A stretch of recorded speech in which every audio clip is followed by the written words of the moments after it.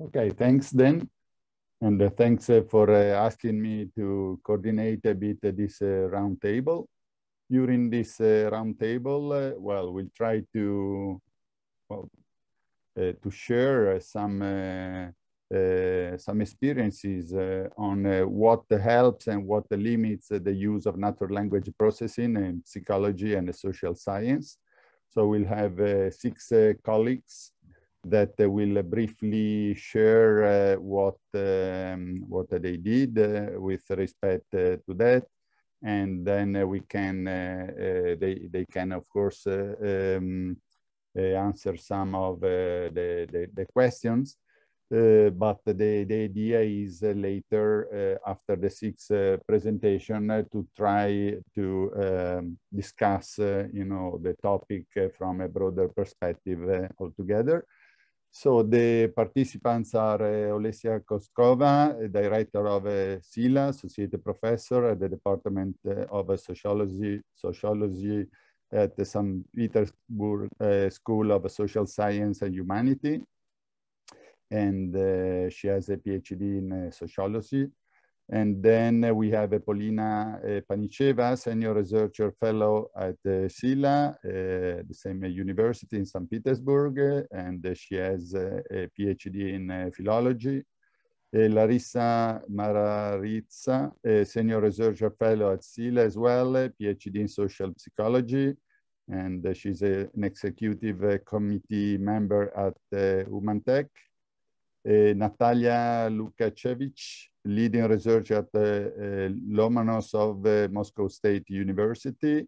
And she has a, a, PhD in computational linguistics. Um, Tatiana Litvinova, head of a Rus Pro, uh, Profiling Lab, Voronezh State Pedagogical University, PhD in philology and also Sergei Sharoff, um, who is uh, joining from UK, uh, the University of Leeds. So we start uh, uh with uh, Olesia uh, Koltsova. Yeah, Paolo, thank you for, for agreeing to chair this session and thank you for, for this kind introduction. I think I should, I would also, although Paolo doesn't need an introduction, I would like to say a few words that Paolo is full professor in computational linguistics in Polytechnical University of Valencia, and he is an outstanding and well, very well-known scholar in computational linguistics, and we are honored that for over a year he has been helping our lab and supervising our research in, at SILA. So um, I will now start sharing my, my screen. I have pre prepared a presentation. Um, intentionally, intentionally, this is not a presentation of a specific project and its uh, results, but rather a polemical introduction into the topic. I will try to, yeah, sorry, to make it full screen. Just a moment.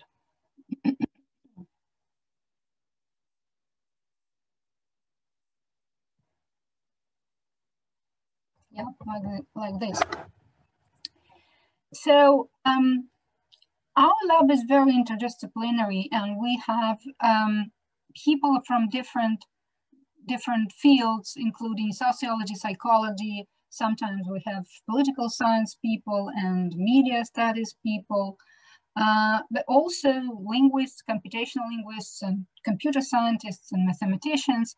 And we're working together on interdisciplinary projects that involve a lot of different things, but, but among, one, of, one of them is applying machine learning, computational linguistics uh, methods uh, or results of usage of, that, of those method, uh, methods to the goals in social science and psychology. And this is never, this is never easy. So uh, one of the um, okay. Um, here I just, I'm just giving a, a, an, um, a number of typical interdisciplinary tasks that we may face and uh, for example, we have just finalized the project on hate speech detection. Why is it social? Because hate speech itself is a social uh, concept, uh, that, that sociological concept, if you want, that, that should be somehow detected uh, by, by using computational linguistics methods. The same is about deceptive content, for example. Uh, these are the features of texts that, that, that um, are typical tasks in social science and political science that you would probably like to be detected. Also, uh, features of, of people or, or even groups of people can also be the objects of detection for such uh, projects. In psychology, we also have a whole bunch of things you can detect with uh, from text data. Um, I have um, um, singled out mental disorders. This is not a purely psychological concept, of course, but and also, of course, we cannot make diagnosis from uh, from just textual data, so we can just uh, make some screening research here. So, and when we talk about these tasks, it uh, um, occurs that these concepts are are very different from, say, um, image recognition tasks or um, part of speech tagging or, or, or named entity recognition, which are much more um, pronounced and much more clear, much clearer concepts than what we find in, in sociology and in social science and um, mm, uh, even in psychology. So um, These phenomena have specific features, which I will briefly overview, but also linguistic markers of these phenomena also have specific features, and they cause a number of uh, problems. Um, first is uh, reliability of measurement. These, even if you assume that the features exist in, independently of human mind, um, it, there is no direct access to them, especially this is uh, um, a problem in, in psychology, but I believe that um, Larissa will address it, to some extent. Um, when you give a, the same test to the same person in a while, you will get different results, and it may mean actually different things. Uh, just mere uh, uh, unreliability, but also the change of a psychological state or um, may even question the very existence of the phenomena that are being measured. And then there is a question if we're not sure what we are trying to find out, then how can we be sure of everything else? Then there is subjectivity. There is no doubt that hate speech uh, exists in human uh, mind because it has very real social consequences. But uh, if you give the same test to different annotators, different people, uh, they will diverge. And this divergence, well, you, you, can see an example from our recent paper that hopefully will be soon published uh, on hate speech de detection. So the, this real divergence is not because of poor performance, not always because of poor performance of of annotators, but due to their different visions that in turn may depend on quite a number of meaningful uh, things like their gender, their own ethnicity, their emotional state and emotional sensitivity and other things. and there is a, a number of things you can do. We often find that ambiguous uh, items are just excluded from from um, from the research, and this is basically what we have done here in this paper. But uh, this is not probably the most meaningful way in terms of social science. Um, there is a number of approaches. We can try to predict ambiguous cases with models trained on, on uh, cases on which annotators do not diverge. We can try to predict probabilities, not classes, and finally, we can try to predict distributions of human opinion over, over items, which makes things more difficult because you need much more um, annotators, much more people. If we are if we are saying that their uh, divergence as meaningful and reflects some social phenomena, this makes annotation similar to sociological polls. And this um, brings us to the problem of um, meeting the requirements that usually are addressed to such polls, like making a representative sample of those who are asked and giving many items to each person and many and annotating uh, each item by many persons so we get a meaningful distribution.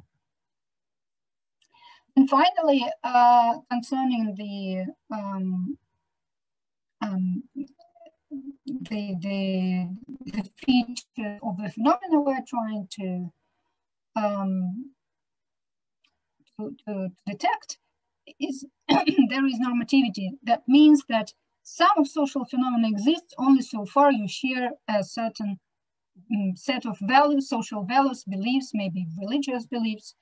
Uh, I will um, give you an example, a recent example uh, from Britain, where a student was accused for of uh, being offensive and discriminatory and actually in, in making some hate speech based on a number of statements she made. And uh, if you read this, so she actually meant that uh, transgender women um, mm, do not qualify as women and therefore they should do their competitions, the sport competitions separately from, from real women. Why is this offensive?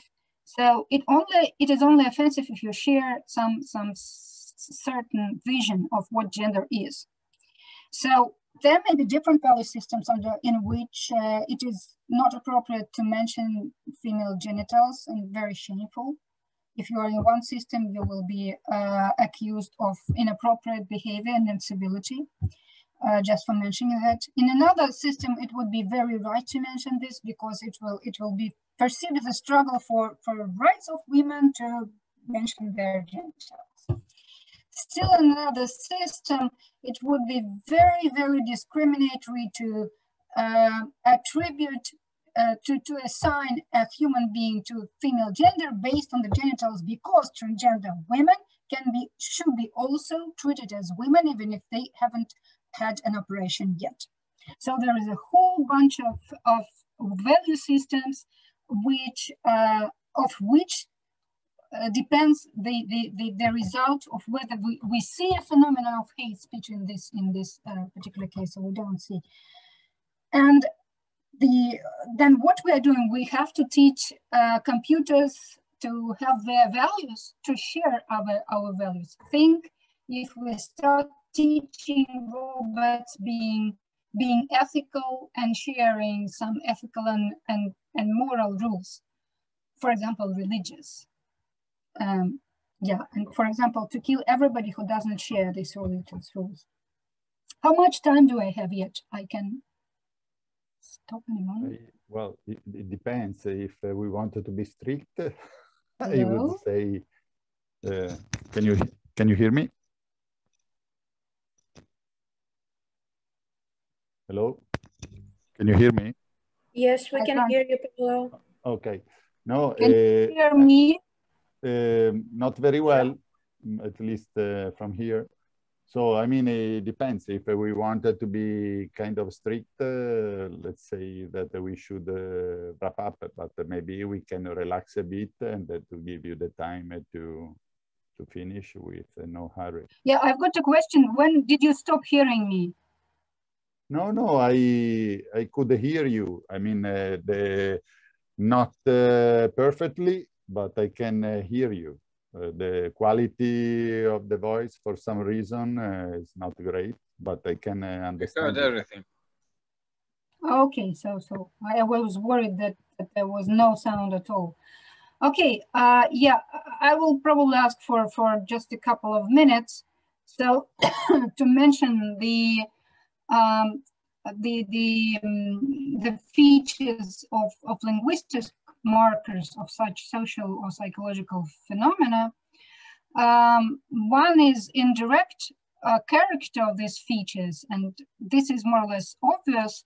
Um, and depending on, on the on the phenomenon we're trying to capture, it may be a whole range of uh, approaches to, to express them. For example, in hate speech, we often have blame attribution that is not like directly saying, I hate um, this ethnic group, but says, okay, let's now remember on which side Mamalizhniks, which is Belarusians, uh, fought in the Second World War. So here, they, the author doesn't even mention on which actual side, but, but, it's clear that it's uh, blaming Belarusians of being allies of Nazi in the Second World War. We don't have any swear words here, nothing like that and uh, it, it's extremely difficultly uh, difficult to detect. And this is actually one of the errors error cases in our from our research where our algorithms failed. And uh, also contextuality, which means that to interpret a certain uh, statement and, um, and to assign a meaning of, for example, hate speech or misogyny or fake or propaganda, whatever we're talking about, uh, a person, a reader has to have sufficient uh, background knowledge. And if there is none, then then the, the, the, the, statement will, will not understood, for example, as hateful. Um, the Russians should know the end of this uh, statement. If there is no water in the tap, it was drowned by whom? Okay, it's a. Do you hear me? Yeah, really. Yeah, it's a swear word meaning Jews. So um, there is no necessity for those who know this verse. There is no necessity to mention it. Then it will be very, a very, very subtle expression, and still it can be clearly understood by those who know. But but th those who don't know will not recognize this, recognize it as hateful. And then uh, there is a question whose opinion is important. Probably the opinion of the target group members themselves is more important than the opinion of other groups. So wrap up, this means uh, all that I said that recognition of a social phenomenon in a text, for example, of hate speech in a text depends on different things such as language competence, background knowledge and education, uh, emotional condition at the moment and emotional sensitivity generally. That may also depend, for example, on ethnic background, if we're talking about ethnic uh, hate speech, and also values and belief, beliefs. So uh, my question for further discussion when, when the floor is open for the discussion is what can we do about it? And if anybody from the audience has any ideas or maybe questions or doubts, it will be nice to discuss this. Okay, thank you. Should we do or not? Yes, exactly. Well, uh, we can leave these uh, broader questions uh, for uh, later. And if uh, instead there are specific questions maybe related to uh, what uh, I mean some uh, aspects of I mean this presentation that Olesya um, shared maybe would be easier to, to make the question now. Otherwise, yes, we can address later this broader question. Actually, should uh, the way we if uh, we whether we should act uh, in a certain way or we shouldn't and how anyway how to handle this uh, this uh, this problem okay so if there are no doubts with respect to uh, what you just shared i will uh, give the, the, the the floor or well whatever we have to give now because we don't even move from the chair uh, to uh, Polina, Polina Panicheva, uh, also from Sila. And so Polina will talk about um, how natural language processing uh, could help in predicting uh, psychological uh, well-being performance, but also, I mean, she will address the problem of interpretability of the results. So whenever you want, Polina. Yep, thank you, Paolo. Uh, I'm going to share my screen now.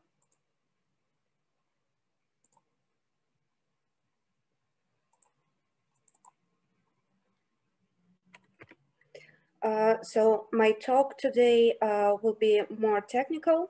I will tell you about our project on um, uh, predicting psychological well-being uh, with natural language processing as well. And I'd like to address the question of uh, how we can make predictive models interpretable. So um, I will tell you briefly about the previous work that has been done in predicting psychological well-being from digital traces. And uh, we'll briefly mention the motivation uh, for this work and for increasing the interpretability of such work. Uh, then I will tell you about our experiments on uh, predicting satisfaction with life, uh, which is measured with uh, a questionnaire uh, made by uh, Diener in 1985, and subjective well-being, which is measured by the World Health Organization questionnaire. I will tell you how we try to predict psychological well-being measured by these two metrics uh, based on digital traces of the users of uh, the social network Vkontakte. Uh, I will briefly tell you about our experiment design, our steps uh, that we took towards increasing the interpretability of the results, and we'll tell you about the results in terms of prediction performance, and uh, in terms of significant markers of uh, satisfaction with life and uh, subjective well-being. I will conclude and pay specific attention to some controversial questions. Uh, so um, uh, there have been a number of effective attempts at predicting psychological well-being. Um, not too many of them though, uh, but they have been effective, uh, taking into account the fact that um, uh, it is very difficult to predict internal states uh, based on um, objective behavior measures. That is, a correlation of 0.4 is considered very high when we try to predict internal states based on behavior. Um, moreover, um, psychological well-being prediction uh, can uh, allow us to screen uh, for various uh, physical and psychological health conditions uh, and allow for early intervention. But in order to be used uh, in such a health care context, it is indispensable that our models are explainable. Um, in previous work, uh, there have been very few attempts uh, at um, explainability of the features. Um, there are four works on the predictions and only three of them report uh, at least some interpretable features, mostly LDA topics uh, connected with psychological disengagement and positive negative affect, uh, some profile characteristics of the social network users, uh, and a few um, lexicon categories uh, taken from the LIWC dictionary. Uh, so um, in our experiment, we have uh, tried to predict uh, satisfaction with life and subjective well-being measured by the scales by Diener and the World Health Organization. our data was obtained in collaboration with a human tech company and it included digital records of the users of Vkontakte and human tech mental health application, which is called Digital Freud. Uh, we use the profile information in Digital Freud and Vkontakte, uh, personal messages in Vkontakte collected over the previous year for each participant, and smartphone app data usage uh, collected for the last week. Uh, our features include demographics, profile and messaging data, and uh, overall phone app usage statistics. in terms of linguistic features, uh, we use words, uh, the Russian LIWC lexicon features, and topic clusters of words based on messages. Uh, also, we use uh, phone app usage statistics with information about the app category. Uh, we have performed uh, regression and classification experiments in uh, tenfold stratified cross-validation uh, with training, development, and test sets. Our final prediction sample uh, is uh, quite modest. It includes 372 users. But additionally, we use a held out data set of users who lack some important variables, but who have uh, message texts. Uh, and we use the held out data set to perform preliminary feature selection. Uh, we did feature selection, first of all, to um, increase the interpretability of our results. Um, it is crucial that we have uh, quite a small number of predictive features um, so that they are interpretable after we get uh, the results of the experiments. Uh, linguistic features, including words, can reach over 50,000 or even more. Uh, so we should heavily decrease the feature dimensionality. Um, that's what we did. Uh, the features which were high in numbers, that is uh, words and word clusters, uh, were selected in two stages. Uh, first, we performed pre preliminary feature selection on the held out data set, uh, reducing the feature set from over 50,000 to hundreds of features. After that, uh, recursive feature elimination was performed inside each cross-validation loop using train and development sets. And that allowed us to reduce the feature sets to dozens. Um, in our experiments, uh, we have, have obtained promising results um, in both regression and classification. Um, in regression, we've obtained a Pearson correlation up to 0.4 for satisfaction with life scale, uh, which outperforms previous results in the field. Uh, we also performed classification of uh, the WHO5 values. Uh, and for classification, we used the cutoff thresholds, which are specifically characteristic of various mental health conditions in our data.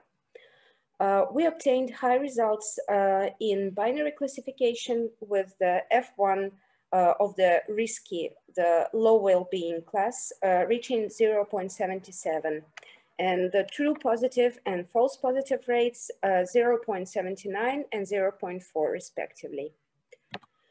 Uh, just for illustration purposes, um, I'm plotting uh, our classification results on a receiver operating characteristics illustration of some state-of-the-art results in predicting depression based on Facebook data. Uh, our lower, lower class metrics in binary classification um, are shown in red, uh, situated uh, a little bit above uh, the Facebook-based uh, blue uh, receiver operating characteristics curve. and the trinary class is characterized by the green dot a little bit lower, but it was also above the Facebook-based results. Um, in our work, uh, feature interpretation is crucial. And uh, here I'm illustrating some of the features uh, which were significant in predicting uh, satisfaction with life and subjective well-being measured by WHO5. Um, surprisingly, there are very few highly predictive features which intersect for both satisfaction with life and WHO5. Uh, they are highlighted in bold uh, in the table and uh, they include uh, the ratio of phone app usage time uh, between 9 and 12 a.m. in the morning, uh, normalized by total app usage time, and negative sentiment expressed in messages uh, during the last month of messaging. Uh, and these features have positive and negative coefficients respectively, the same for both satisfaction with life and WHO5 in the regression tasks. Uh, on the other hand, the features which are distinctive for life satisfaction levels uh, include um, a lot of words, which are sometimes obscene uh, and uh, almost always related to affect-laden social phenomena uh, like quit, spend, fine, explanation, bully, spoil, sigh, nice. Uh, on the contrary, uh, for subjective well-being prediction measured by WHO5, more app phone usage features are significant, especially those related to the ratio of nighttime app usage, uh, that is between 3 and 6 a.m. Uh, also, um, words, that is lexica related to, to biological processes uh, is a distinctive marker of uh, low WHO5 levels. Uh, it is interesting that these findings are in line with the fact that uh, the WHO5 scale is largely aimed at measuring physiological aspects of mental well-being, uh, while the satisfaction with life is more aimed at measuring overall psychological satisfaction, like being happy, finding one's life uh, an ideal life, and things like that. Uh, this is um, represented in our significant features. Um, so I'd like to conclude my talk uh, saying that uh, there have been uh, a few attempts of predicting um, subjective well-being and even, even fewer attempts at interpretation. Um, up to 10 features um, are vaguely related to psychological theories. That's why, uh, that's how uh, the results are usually interpreted. Um, our experiments on predicting uh, subjective well-being uh, and satisfaction with life with digital traces outperformed previous results. Um, also, we obtained uh, quite similar regression results for uh, satisfaction with life and WHO5. Uh, but it is important that uh, the significant features for satisfaction with life and WHO5 were very different, which suggests that uh, different behavior patterns characterize the different scales. Uh, I would like to return uh, to the statement that to make screening based on the digital traces feasible, we need clear and unambiguous explanation. Uh, so we, um, for sure, clearly we need more research uh, to do that. Um, I'd like to return to my question of uh, how we can make predictive models interpretable. I'll be happy to hear your ideas.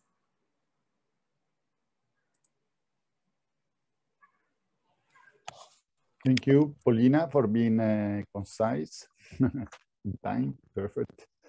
Um, so yes, unless uh, there isn't any inquiry with respect to something uh, more technical uh, you you shared during uh, your short presentation, I would leave you know the generic and important question for later. Otherwise, we won't have a round table. Actually, time for the round table. So yeah, so if there are no specific questions, I will give the floor to Larissa Mararitsa, also uh, from uh, SILA, another senior researcher fellow, and also executive committee member at Human Tech. Thanks, Larissa. Thank you. Nice being here. And uh, as you said, I'm also a member of Humantic team, and now my team is with me. Here we have uh, Pavel Novikov and Viktor Novichev too. So uh, we made a big work um, on reviewing a set of articles, recent articles on personality prediction and, and inferent personality assessment. So um, nowadays, uh, some uh, commercial and uh, not commercial, but some kind of big players like Microsoft and others um, thinks that we can make inferred personality or ML models, like um, an alternative or a substitute for psychological tests for the con convenient, uh, conventional, sorry, conventional psychological tests.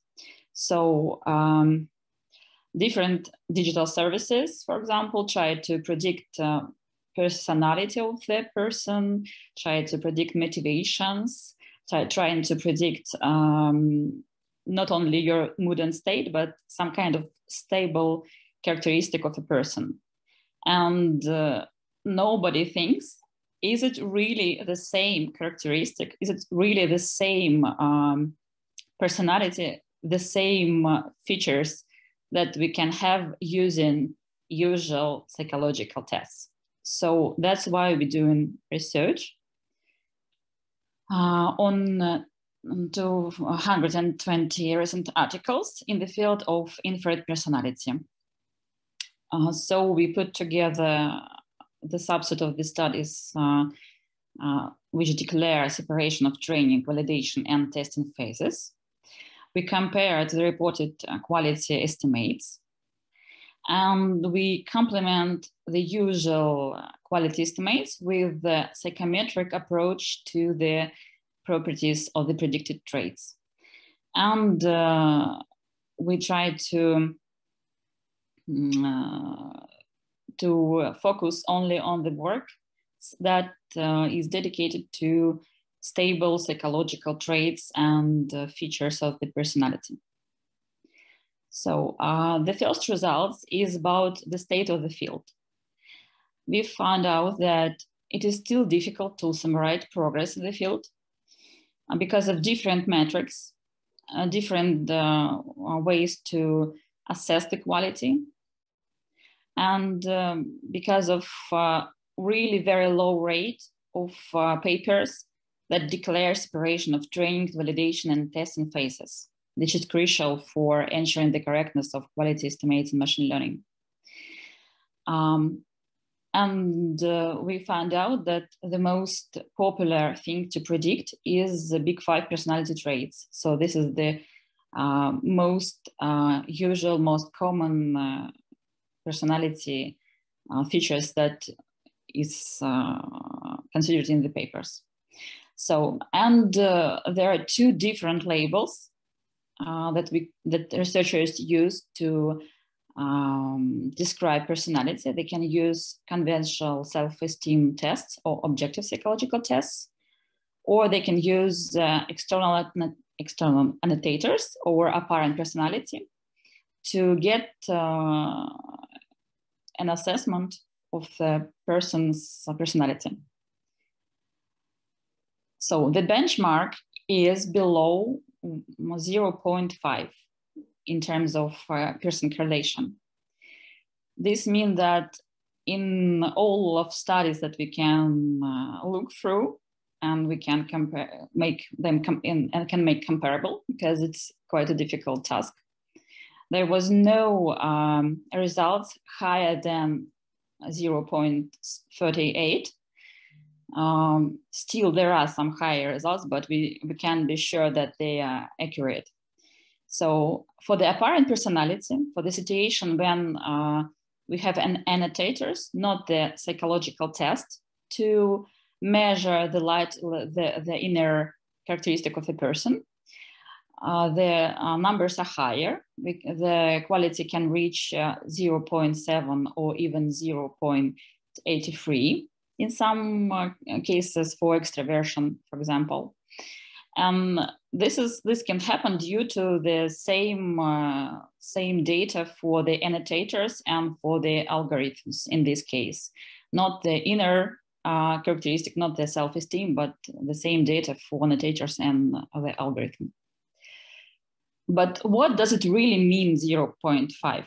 Is it enough to use such kind of uh, uh, models in practice or in research or trying to think that they can be a substitute for the classical psychological tests. We find only one work on these uh, very important questions, for work of Carlson and Herman. Uh, they try to uh, explain and understand what does it mean when we use the proxy of the trait that is correlated, for example, on 0.5 with the original trait. And they found find a lot of cases, then this uh, correlation is not sufficient, sufficient is not enough uh, for us to be sure that they can uh, use the same description of the trait and, and we can uh, wait for the same uh, trait outcome uh, relationships. In our study, we, we make um, a simulated example of the case of uh, the measures of the trade and proxy characteristic having a correlation 0.5. And we understand that we can explain, expect large difference in the correlation with the outcome between the predictive and the origin trait if the prediction error is largely systematic and the particular outcome variable is related to the error term. And this can be the true. So um, after the examination of uh, usual metrics, quality metrics, they turn to the uh, analysis of uh, psychometric validation that we found in, this set of articles. So the first one is the content validity. This is the requirement for the indicators uh, to be interpretable, interpretable and theoretically justi justifiable. So the same like Paulina mentioned, the same, uh, the same uh, requirement to the um, indicators. So there is quite a huge amount of uh, knowledge about indicators and a lot of reviews on indicators. But uh, usually this is a post hoc discussion and post hoc analysis. Nobody used to make uh, preliminary mm, pre um, um, make make uh, some hypothesis before the research and uh, only in one case we find uh, um, use they we find the situation then the authors uh, ask experts to um, distinguish the real the good uh, indicators and the bad one before the experiment before the model was made and they found like just only some of the indicators uh, was the same as expert was um, thinking. Sorry. So uh, the second is uh, reliability and factor structure and uh, the predicted and the relationships of predicted characteristics. This is very important thing for the psychological features, psychological traits, because uh, theory usually states uh, how the personality um, traits should correlate with each other.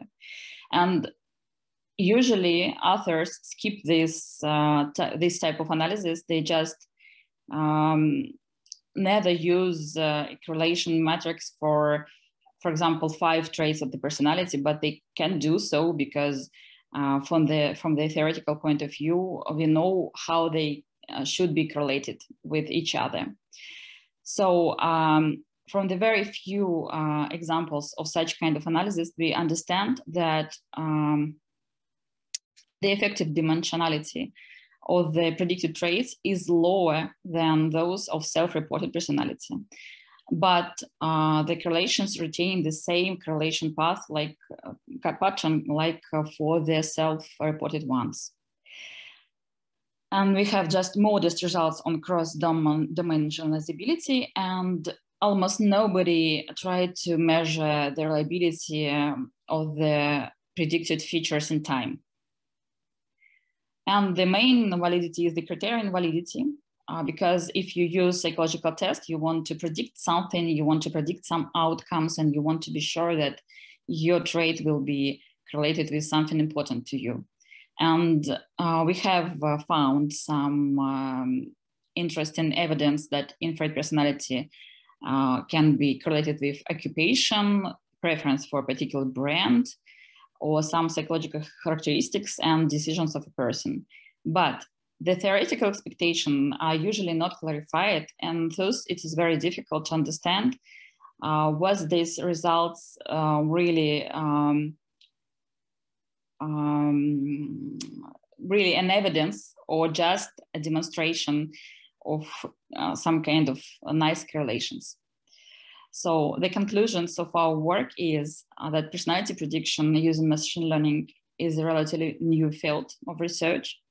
And it is possible to compile and benchmark for prediction quality, but we have no sufficient evidence to set uh, up clear expectations for the real world tasks.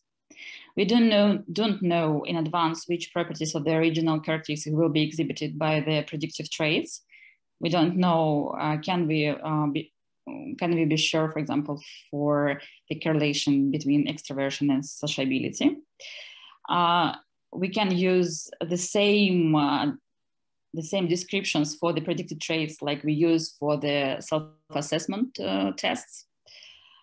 And we can be sure that we have we will have the same outcome trait outcome correlations uh, for the predicted for the predicted traits like we do have for the self um, for the for, for, the usual psychological tests um, assessment of the personality so uh, I think this is the main conclusions and the main questions of uh, our research is how can we evaluate models of the personality prediction if traditional metrics are not sufficient? Thank you for your attention. Thank you. Спасибо, uh, Larissa. So unless uh, there are no questions, doubts about some uh, some of the things uh, you you share with us, so I will move uh, from, uh, well, let's say St. Petersburg to Moscow. I actually and, had one clarification oh, question. Yes, please. Um, do I understand correctly that in some studies, ground truth is not self-reported psychological trait, but uh, an external annotation of, by some other people? If so, what material do they annotate? And what is the, just the theoretical methodological justification of using such benchmarks? And who are these annotators? Yes, you're absolutely right. There are some studies uh, for the apparent personality. So like a first impression, for example, of the, of the person. So I can, for example, label a video or a text with the labels of extroversion, of openness, or the other psychological traits just by my experience, my point of view.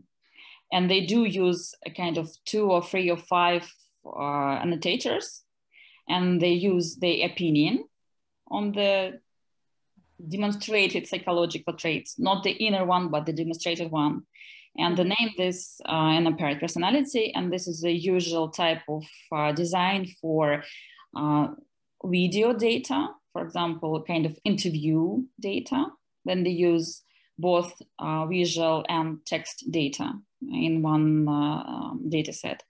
And this could be true for uh, photo, photos. And we do have uh, a table with uh, different data sets that we found uh, to be quite um, useful for the researchers. And we do have them in the preprint. We, we just, you can just look on, on this um, uh, internet preprint and find the table with uh, all the data sets that was used in these studies and what kind of data and what kind of labels they use in these uh, researches.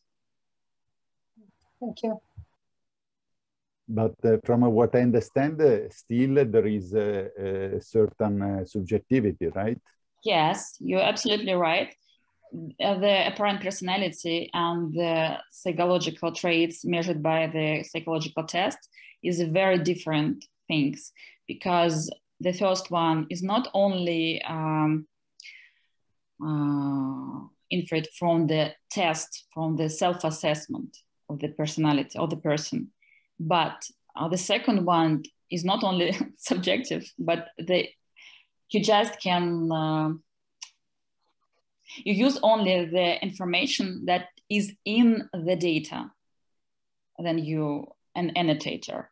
But then you use labels from the test. You use a kind of self-image of the person is a very, very inner thing. Not, not, not sure we, can present it like this, the same clear way in the digital data. So that's why it's very difficult to predict such inner characteristics and there are we, we, and this is very interesting thing. We never find no no no researcher no no research then sorry. We have haven't find a work with the annotators who uh, was the kind of real uh, expert in psychology.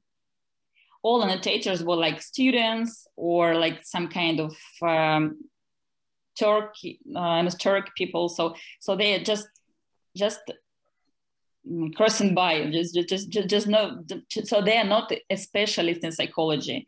So we do not find the apparent personality research or try or, or attempts to predict the apparent personality that was annotated by the real experts. So yeah, implicitly we could uh, have a bias there depending on the annotators. A huge amount of bias. And a huge amount. And I was a thinking maybe also on the basis of their personality, because uh, let's suppose that uh, by, by chance, uh, by accident, uh, I mean, uh, the annotators uh, have a certain, all of them a certain personality, maybe there is also uh, more bias to see the other, the person uh, that they are supposed to assess uh, from the same perspective. So, I mean, a lot yes. of variables there. Yes, they try to use only usually they use the labels that is uh, convergent so that, that converge in some point not not the all the labels for from the all the annotators. So they kind of uh, use the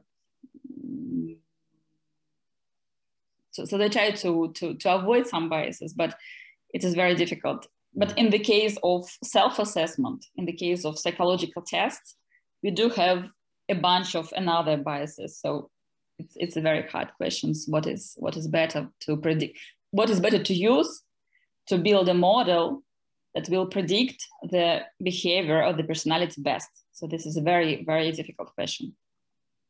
Right. Okay, thank you. Thank so you. we'll pass now to Moscow. uh, I have a statement. Sorry, Paul. Yes.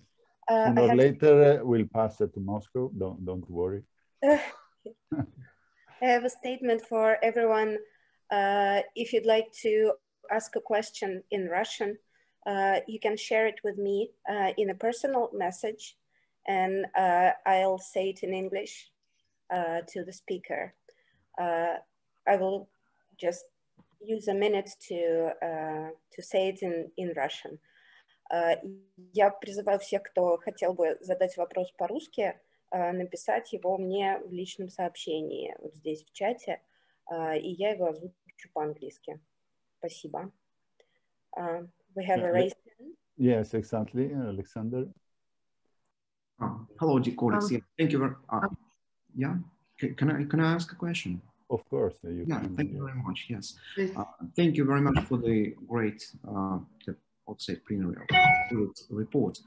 And the question is actually connected uh, with the previous one. Yes, that's, uh, did you take into account, did you take into account um, the uh, background of annotators in terms of their education, age, age you said that they're students, uh, but uh, did you have the frame for annotating? Uh, what were they instructed how to annotate? And um, I mean, in terms of place of living, their background, education, age.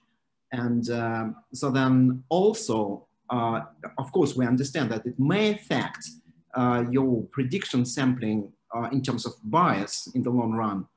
But uh, yes. Then did you have the, the set of conditions for annotating also to try, yeah, to have a go at excluding the possibility of, uh, let's say, um, spontaneous annotating, like without thinking, just uh, make a click and then go ahead and make a click again. And so then that could affect advice. Yeah, thanks. Thank you for the question. So uh, actually, this was a review not the prediction uh, research by myself or my colleagues. So we just um, use the sample of the 220 recent articles just to understand the situation in the field. And in this uh, data set, the data set of the articles, we find some articles that was uh, uh, about the apparent personality evaluation and prediction. And this type of studies uh, is very, very different from the first one. The first one is about self-reported personality, and the second one is about the apparent one.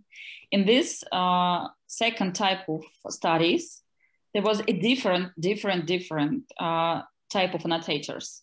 but all of them was not an expert in psychology. This is a very important thing. We haven't found any research with very qualified annotators.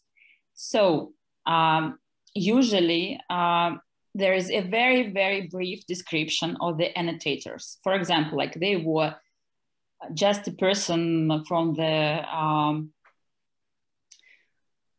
platform of labeling, for example, or they was just students, or they were just like um, available one annotators, and that's all. So they do not state something special about their background, about some about the place of living or something like that. So for us, it was impossible to uh, compare such studies, to compare the results in uh, terms of such um, annotators characteristics. So I cannot answer on your question so deep because we do not have so deep information on annotators. And there are still a few good research on, uh, on the personality prediction because I've, as I have already mentioned, only 20% uh, of them really separate training, validation, and testing phases. So this isn't such a huge amount of good research to um, rely on. So I'm sorry, but I can answer on your question in, in more details. No, no, that's that's fine. That's good good research, really. Thank you. Okay, thank you. Mm -hmm. Okay, thank you. Now we really have to give the floor uh, to Natalia Loukachevitch if I pronounce her surname properly, leading researcher of a uh, State University. There is some noise. Um, I, sorry, I can't uh, teach uh, demonstration. Uh, um, so her background is a Natalia, give you an access to share your screen. -huh. Okay.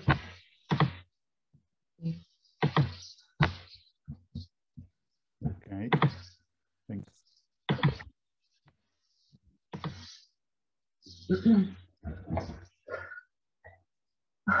Good evening, and uh, I also have a small survey, but uh, survey not very um, uh, advanced uh, research uh, as presented uh, in previous survey, but it seems to me this survey is very interesting and I describe how social scientists try to work with NLP tools. They are new uh, new users of uh, um, NLP tools, but they try to do topic analysis and sentiment analysis.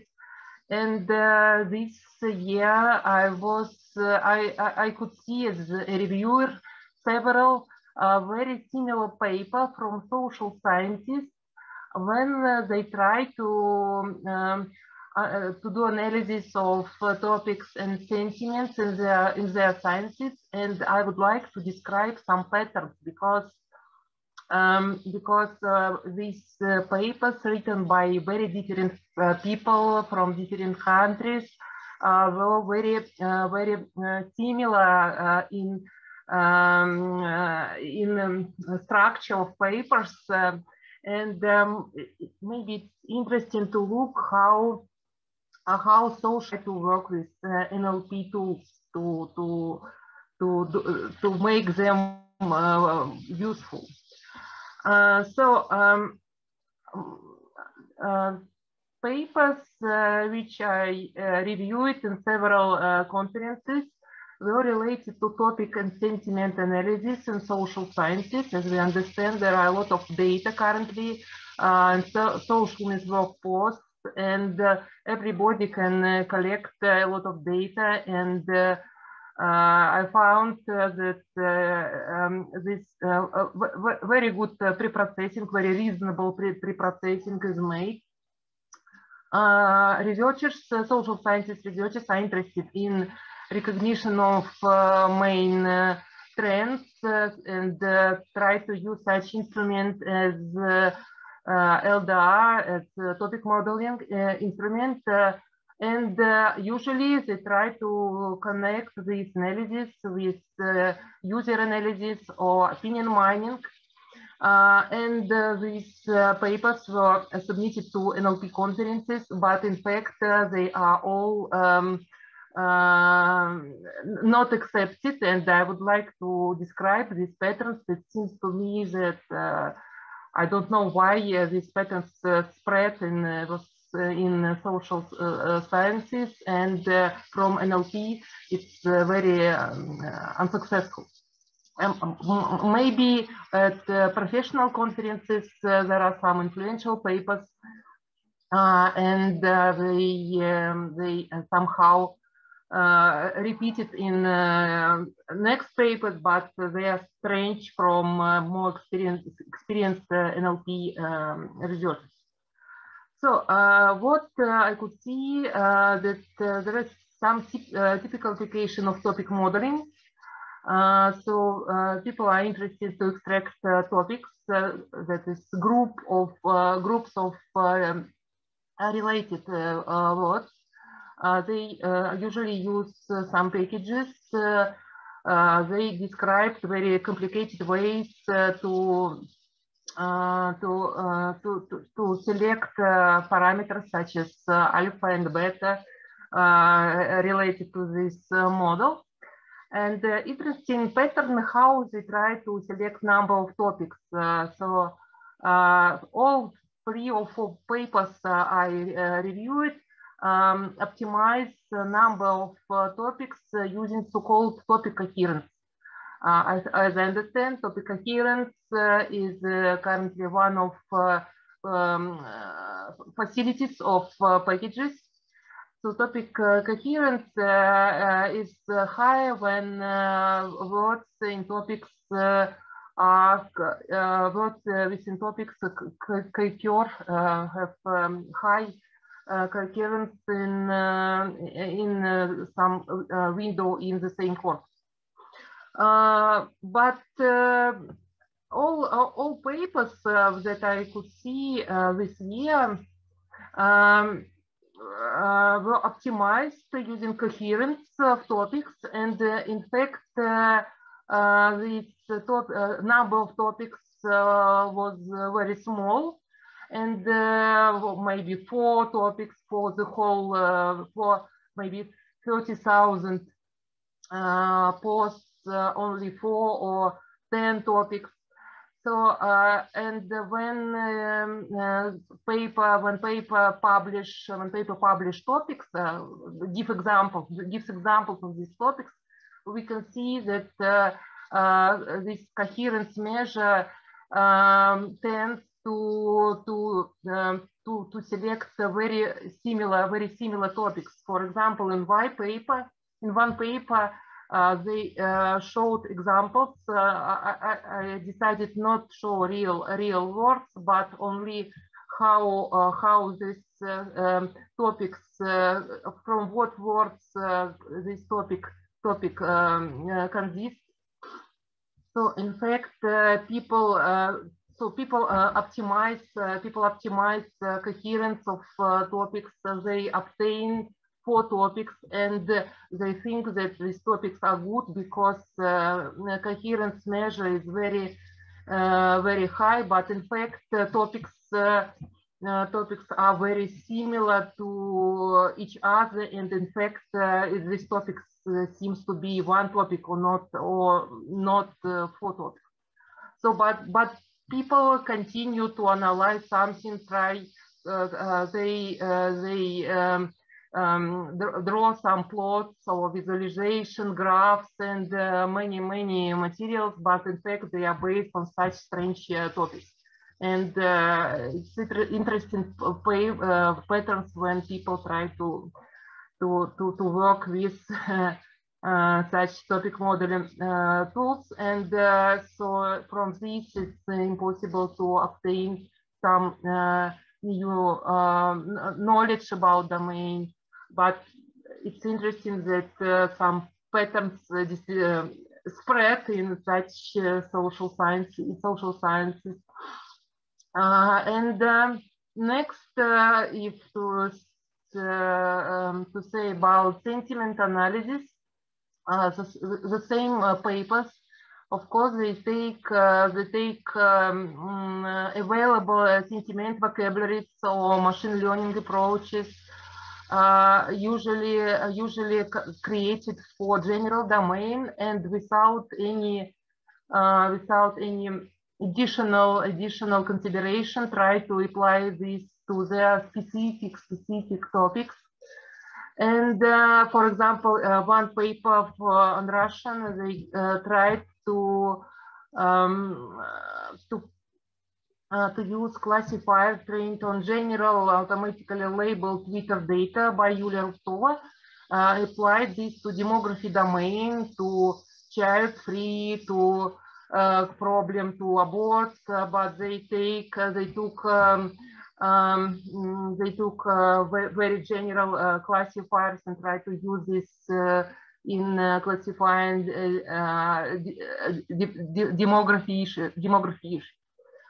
So in fact, uh, again, uh, non-experienced uh, people in NLP do not maybe can understand currently that how sentiment is very dependent on the domain and if you take uh, general classifying and move to our domain. It's difficult to obtain uh, uh, good results, but again, uh, we can see that people take these, these general instruments and again, draw some visualization, some graphs, and without any additional analysis or consideration on any so, uh, so um, in fact, uh, we can see that this is uh, not uh, this is uh, very uh, large um, interest from social sciences to work with to work with um, NLP instruments, but this is maybe for many people first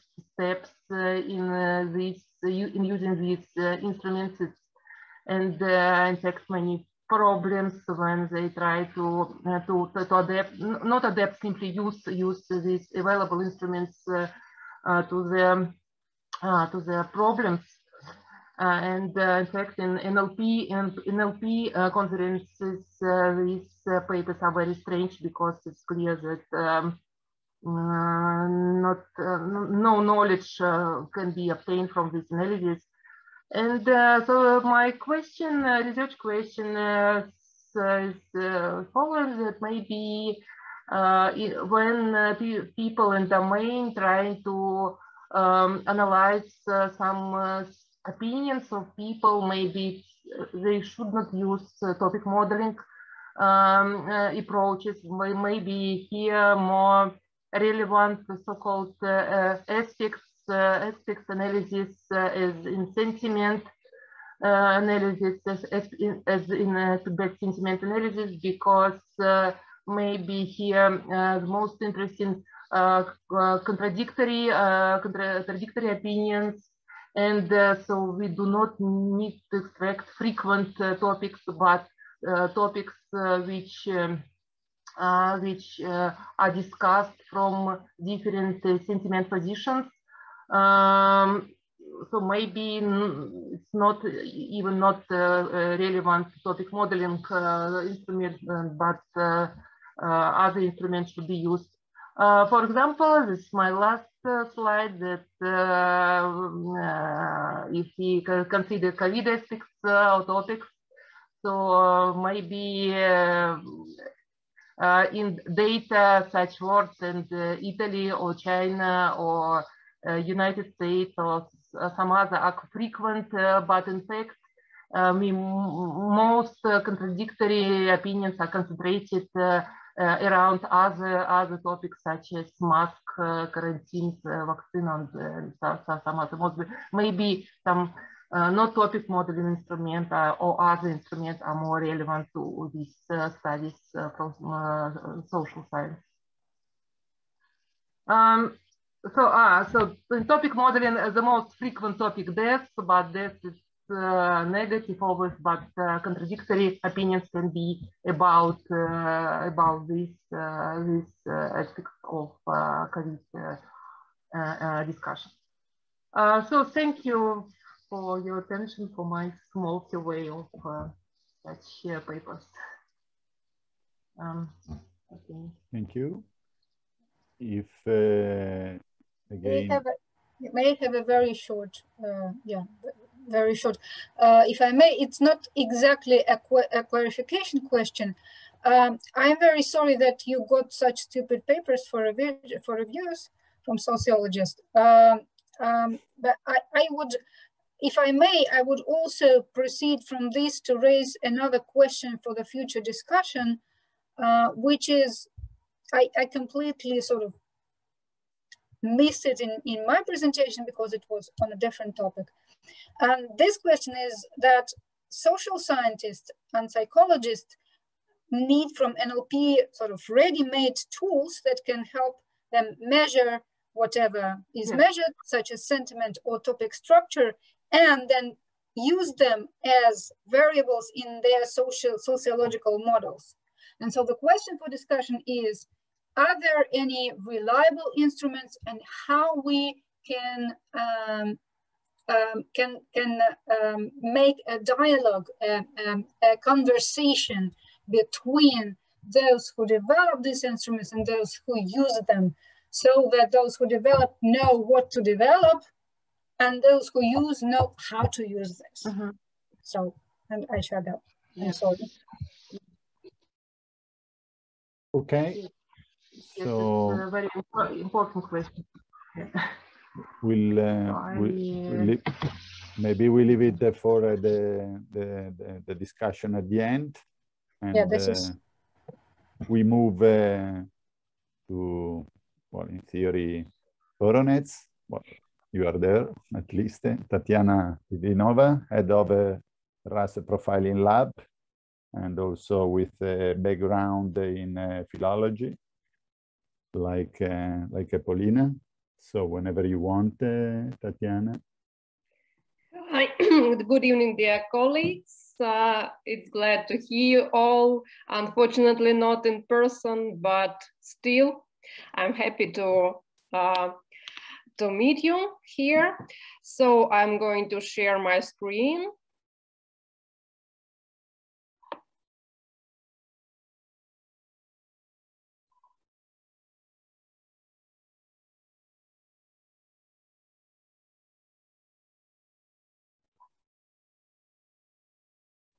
I cannot share my screen, unfortunately. Olga, are you here? Hello, Olga. No, Olga doesn't seem to be here.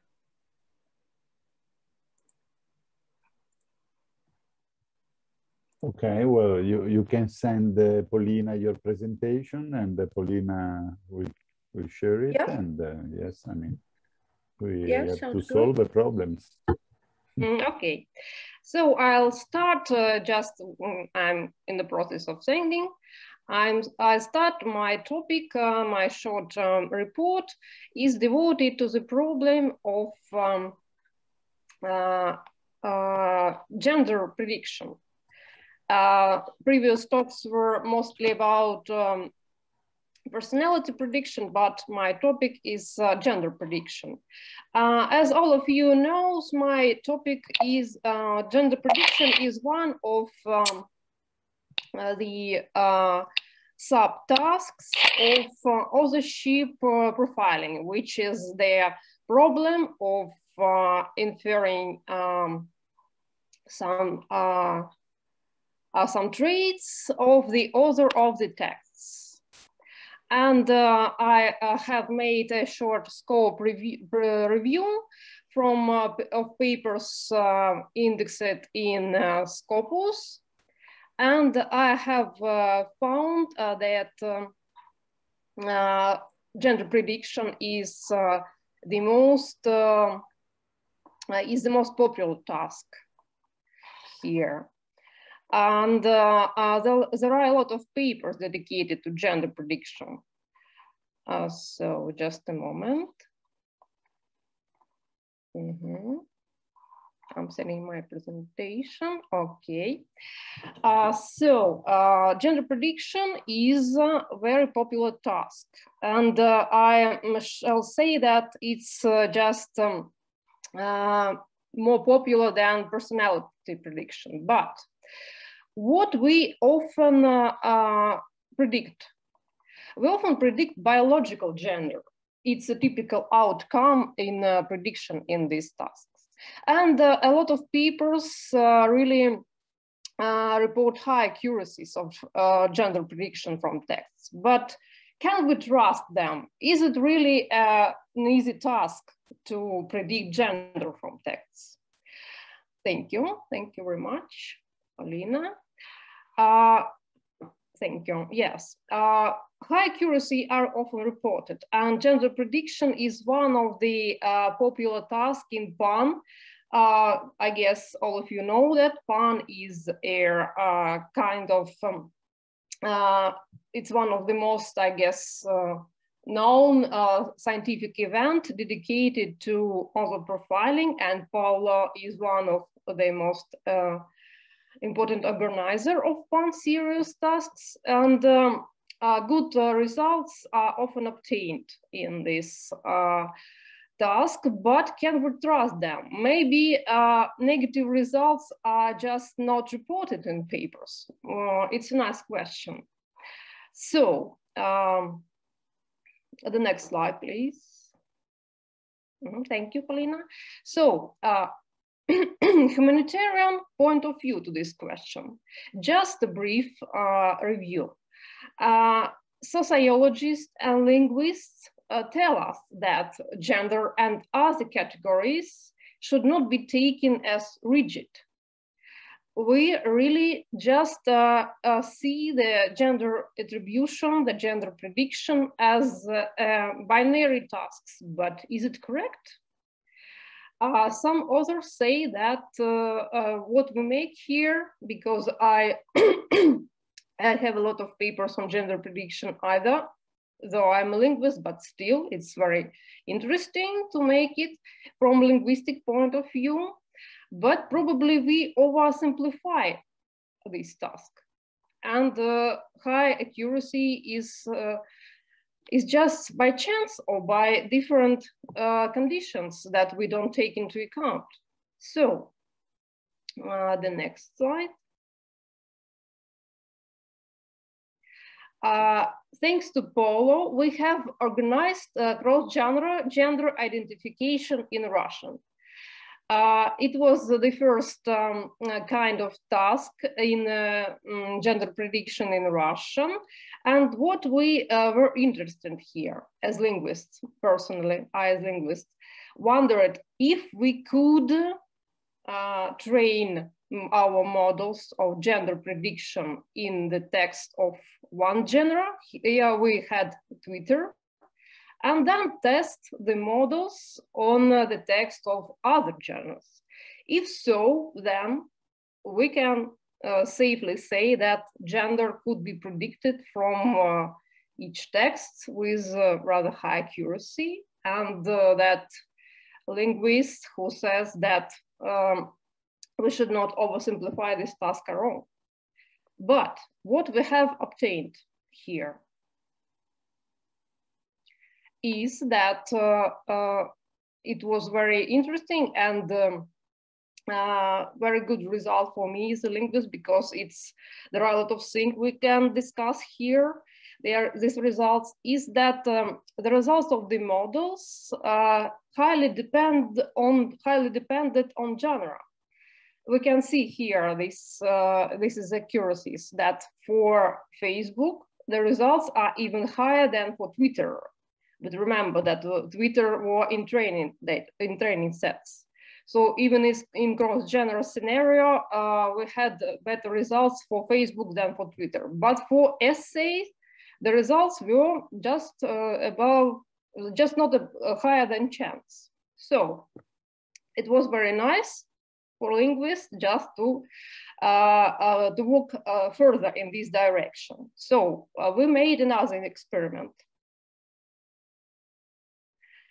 Uh, using RusIdiolect database, which is uh, mm, unique data set, which contains a lot of metadata about others, such as biological gender, self-reported, uh, different uh, personality traits. Um, we have uh, performed experiments using uh, psychological tests. So it's not self-reported, but we uh, gathered uh, our respondents and asked them to pass psychological tests.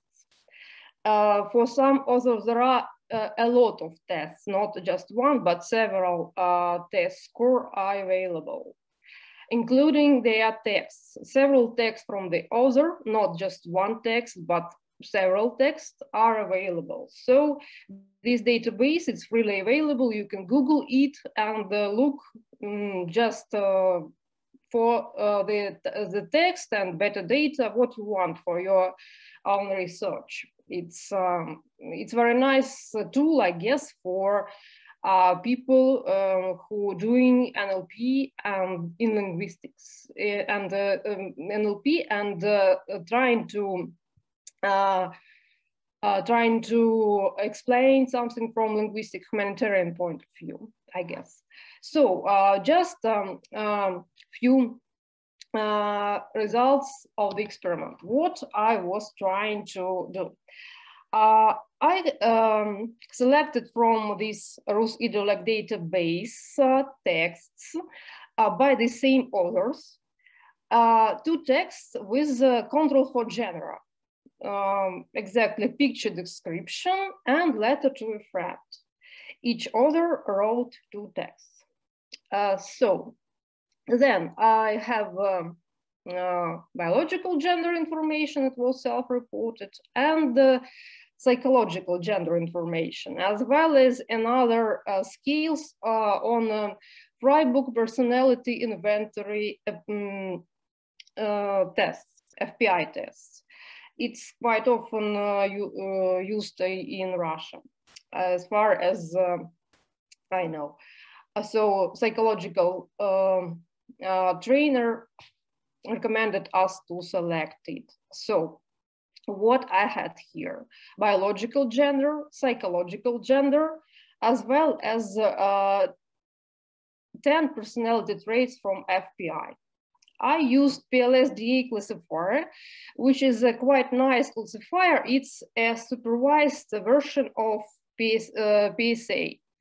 It's now used in uh, genomic research and uh, genomic research is close to idiolectal uh, research uh, because we have here uh, multidimensional data set and mm, linguistic markers are highly correlated and it's uh, quite nice to use this classifier for different um, ideological uh, for different research in idiolectology which uh, is, uh, uh, and gender prediction is one of subtasks here.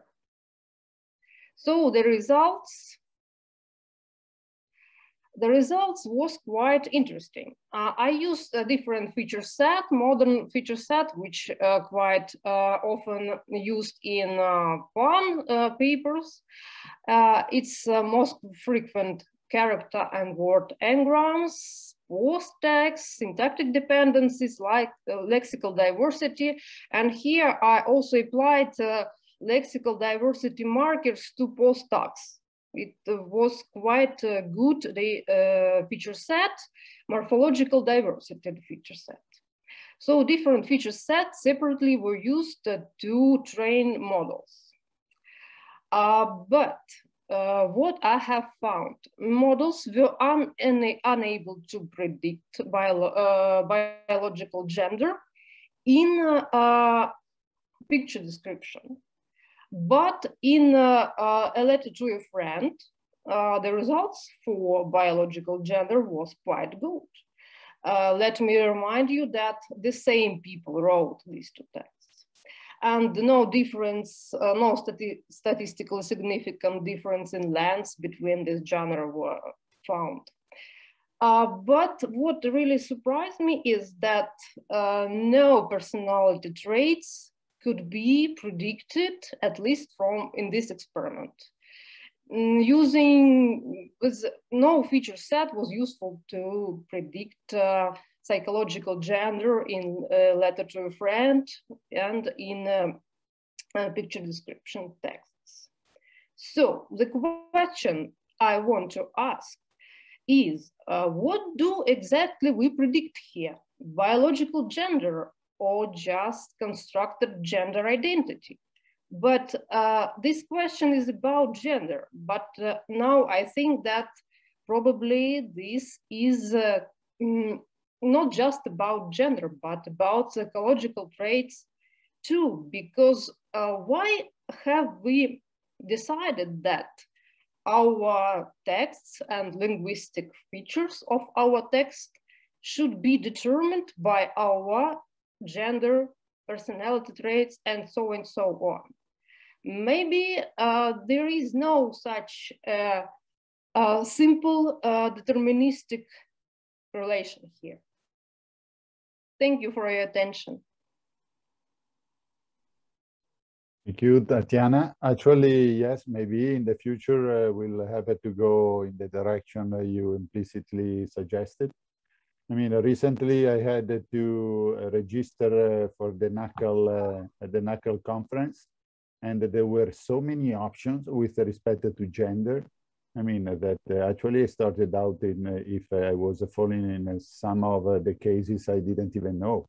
Okay, well, this is serious stuff. I don't want to joke about this, but this in order to um, uh, underline that the community, uh, talking about the computational linguistic community, at least the main conferences now at the time of the registration, they include, uh, well, I cannot be precise, but uh, certainly there were at least eight, eight uh, possibilities in the selection. So yeah, probably this is uh, the way to, to move.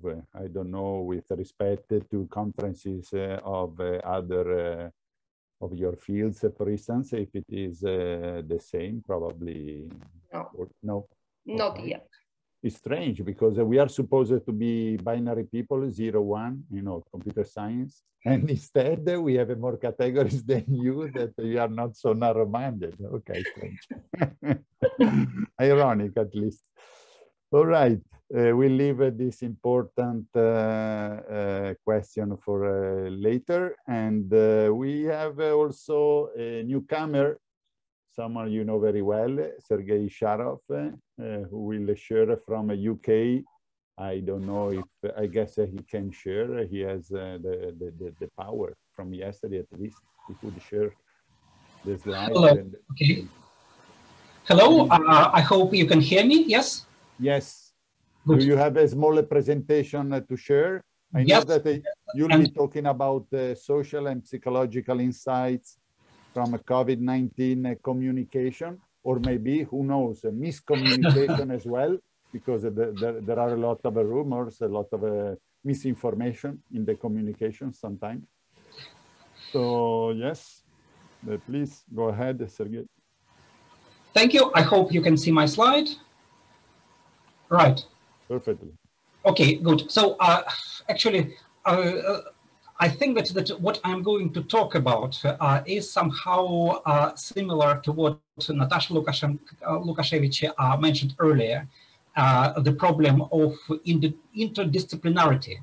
Because I have done a project uh, with people doing social sciences uh, on this topic. And now we are about to start a project with people in psychology. And there is always a problem uh, in misunderstanding how they perceive our tools and how we perceive what is important for them. So I will start by showing you a couple of examples. So the reason why we started this project on, on COVID uh, communication is that uh, the, uh, we, we wanted to understand what is the flow of communication? Because we can think of this as something which starts with research papers, right? You have a research paper, it formulates ideas, the ideas, they influence some kind of policy making, and then this is reported by the newspapers, and then this is shared by social media. So this is a fairly straightforward um, a picture of a flow of communication from researchers to social media and actually to us in the end. So the problem is that uh, if you look at this closer, this doesn't work and this doesn't work on several levels. One level on which this doesn't work is that the researchers, the way they talk is very different from the way people on social media talk because here is an example. So, uh, so we uh, we have classifiers, and I will be talking about the classifiers later.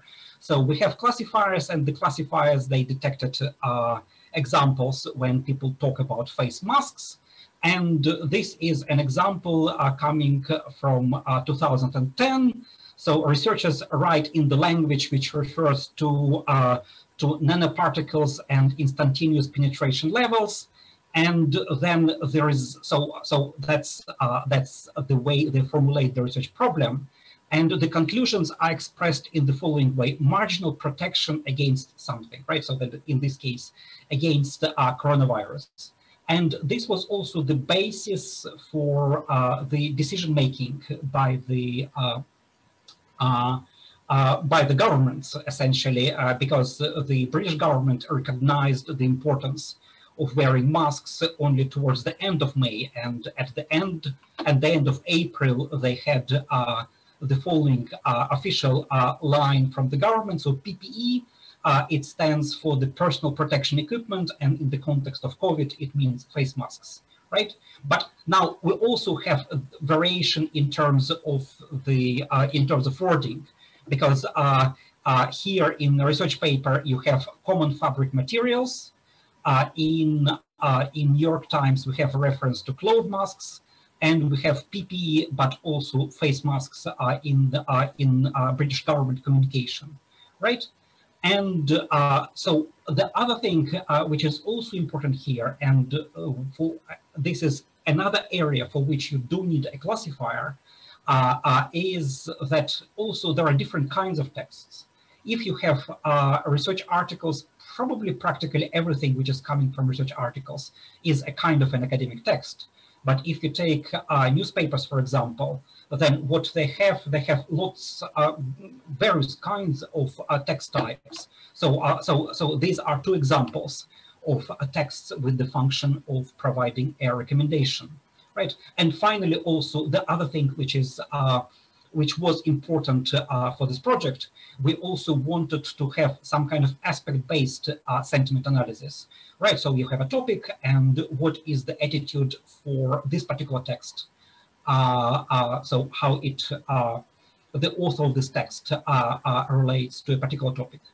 And what we wanted also to see is how research papers impacted policymaking and then impacted social media. And what we found is that there is a range of approaches, obviously, but there was an overwhelming support, even in February last year, there was overwhelming support for wearing face masks, right? There were more examples with, so then if you detect, uh, if you detect cases uh, of face mask and uh, and positive relation uh, to uh, to using them, most most of the time uh, there was uh, support for this. Actually, one of the interesting things is how things change, right? So because it might be that now there is much less support than existed before. At the same time, the other thing is that again, if you take uh, if you take social media, and here we have an example from Twitter, and another example from Reddit, so social media is not uniform because there are different, so when you publish something on social media, then you publish this for various reasons because here an example of a tweet and it, the function is predicted as opinion and you have a request expressed uh, on Reddit and probably some recommendations in a response to this request. And similarly, Daily Telegraph, uh, this is a newspaper and they report in one way or, uh, or the other about what is happening. right? So with the range, uh, so, so we have a range of sources, we have a range of, uh, a, a range of functions expressed in those sources, and that's not, not a uniform, obviously, one-to-one -one mapping. And finally, we have also difference in the approach, right? So then, then on the research side and on the government side, you have one opinion and then social media is full uh, of opinions of a different kind. So, and this essentially what was what was the task is to investigate all of this. And it took uh, us quite some time actually to uh, understand what, uh, what people in social sciences want in terms of their predictive power right? And what uh, we can provide in terms of natural language processing. And so this, in the end, this, so on the one hand, this is a nice and clear picture, but then some of the things, uh, sort of, I thought that this picture is interesting. But for people in uh, social sciences, they sort of thought that this is almost uh, uh, obvious, right? So, uh, for example, uh, so then, then we didn't detect many examples of public trust in government expressed uh, in uh, in uh, government publications on on the on the topic of COVID, right? And it's it's in a sense from the from their viewpoint it's quite understandable because because government can't question their their own ability to govern the country, but then newspapers and to much larger extent social media they question uh, they question this ability. At the same time, we uh, we have again fairly so we have some discrepancies between what government says, what also research papers say, but then in the end we decided to discard everything coming from research papers because the language they uh, express this is so different from uh, from uh, anything which circulates sort of uh, among normal people right? But even within government communication, uh, uh, news, newspaper and social media, we have quite a lot of variation. And this, and so then the question is whether we can find some interesting results, right, out of this range of variation you can find uh, on, on, okay, across, across different sources. And this is quite difficult actually to agree on what is, uh, what works and what doesn't. So this is this was this was a problem I had uh, in uh, interaction uh, with uh, with the uh, social scientists, right? And then the other thing which we also wanted to do, we also wanted to move a bit closer to personality profiling because if you have social media texts, right? Then uh, then some text, so then then this this only captures, so then this column, it captures primarily those who produce social media texts. We selected only, uh, so then, then this was coming, uh, the sources are Twitter and Reddit, and we only selected personal messages. So uh, we uh, we removed all retweets, right? So then then then then what? So so this essentially means that this column corresponds to what people write, yes. But then what was interesting, and this was missing in this kind of study, is what people think and how they're different. And this is the context in which we decided to start a project, a related project uh, with uh, with another uh, in collaboration with another group uh, in Hamburg, right? And they have done in parallel to our study, they have done another study. So what essentially they wanted to do, they wanted to investigate to what extent uh, public opinion changed or the psychological state actually of, uh, of people communicating on Twitter, it changed uh, by uh, by so then, then how they uh, they were they wanted to do this is by detection of the intrinsic desires, uh, uh, how they frame this from social media texts, and the way they predicted the intrinsic desires was according to two frameworks. And the reason for choosing the two frameworks is because there was a test available in German. This is a German group, so uh, they played uh, with uh, German psychological tests and also with, with the German tweets. So one is about the intrinsic motives, right? So according to, uh, to a particular theory, uh, uh, they, they used, is that obviously we all want some kind of power, we all want love, and we want to achieve something, and the there is the uh, the basic intrinsic desire for freedom, and also the, then when we act in the society, then uh, there are such things as self-regulatory enactment dimensions, right? So then we can uh, regulate positive affect, we, we, are sensitive to some positive incentives and exactly uh, in exactly the same way for the negative in incentives. But then uh, some people do this in different ways and what they want, so, so first of all, they have a training set and uh, this training set is considerably bigger than uh, what was discussed before. For example, for Russian, there were examples of uh, several hundred participants, and clearly in this case, uh, they had about 1,500 participants. And uh, uh, the task for the participants was to provide descriptions of uh, some scenes and some reasoning why they interpret scenes in one way or the other. And so they were, they were responding to pictures and uh, questions and uh, overall uh, the length of each answer was roughly of the length of a tweet in Twitter. So, uh, so and they uh, they uh, had several um, questions and several answers per participant. So they had sufficient amount of data in order to train their model. And what they did, they so so they did a t-test on the prediction strength, right? So uh, so uh, if you are if you have a BERT-like model, then on the top of the model uh, you have soft softmax, and by the strength of the maximum uh, for the uh, for the softmax function, you sort of predict the. So then then this was their model for predicting the. Uh, on the one hand, the dominant motif and the strength of this dominant motif, uh, or and that and in exactly the same way for the strength of the uh, of uh, uh, self-regulation, right? And what they found, and they compared data from March 2019, uh, I think March May, March May 2019 to March May 2020, and what they and they found some differences, right? So uh, you can see that power increased and according to the distribution of uh, t-test comparison, this, uh, this was a significant change, right? And uh, in exactly the same way, uh, the uh, so the, the dominant freedom as the dominant motive, it, uh, it actually fell quite considerably.